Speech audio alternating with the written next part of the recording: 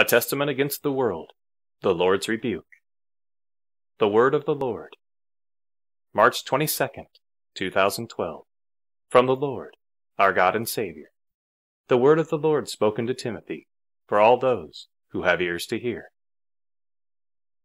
Thus says the Lord God Behold, the oaks of Bashan are toppled, the strongest among them are snapped as twigs.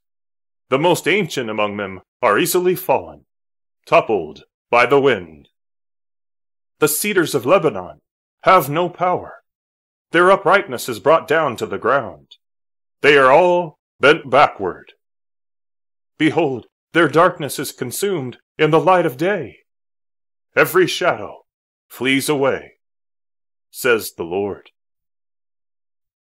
For the Lord has come out of his holy temple, and the word of the Lord blows upon the face of the whole earth.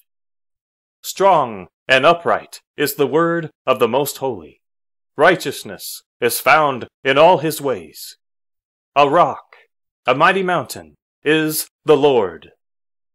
Behold, his word is a tower of strength, a strong wall which stands forever.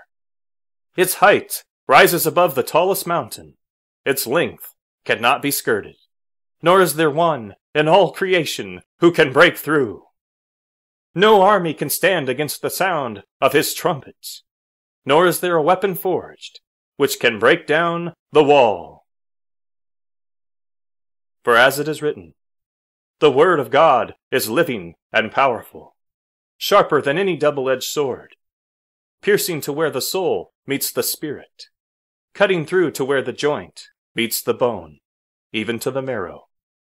A discerner of the thoughts, a judge of the innermost intentions, revealing the heart of every hearer.